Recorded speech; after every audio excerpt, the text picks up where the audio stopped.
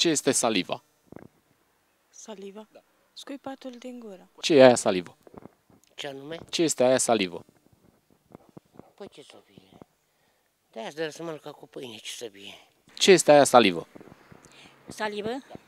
Păi eu știam că saliva este ceva care se elimină pe gură. Saliva. Adică mai exact cum se numește? Ca un fel de infecție, așa, ca un fel de, așa gândesc eu. Saliva. Saliva. Deci o salivă înseamnă o spectorație. Eu așa gândesc. Ce este aia salivă?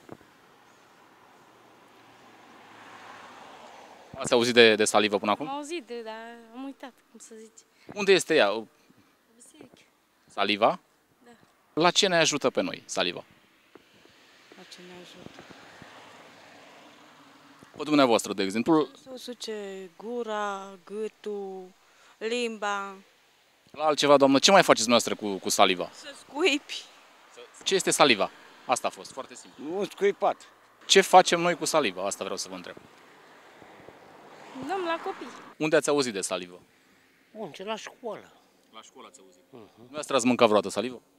De ce să fac treaba asta? De ce vă treziți cu saliva aia în gură? Nu știu, acum m-aș la și pe nepregătite, nu. La ce ne ajută, bă, nu asta? La ce ne ajută saliva? Depinde cu ce mănânci. Păi bun, ce, Mănânci, dacă îți vine salivă, bine, dacă nu, iarăși bine. cum arată saliva asta? Știu cum arată, dar Spuneți-mi așa, în mare. Ce culoare are?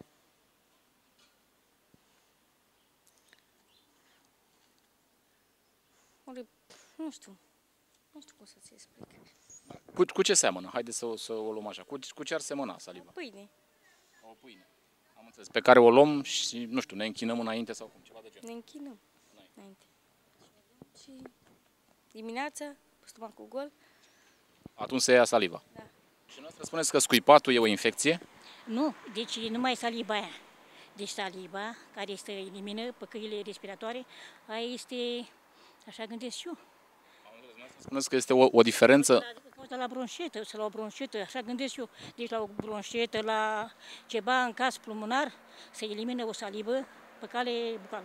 Spuneți că este o, o diferență majoră între salivă și scuipat. Una e una, alta e alta? Da, scuipatul e scuipat și saliva e salivă. Ce formă are saliva?